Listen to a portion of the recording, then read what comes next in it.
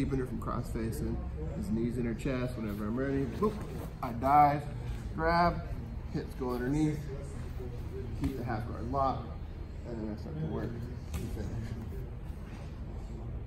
Everybody got it?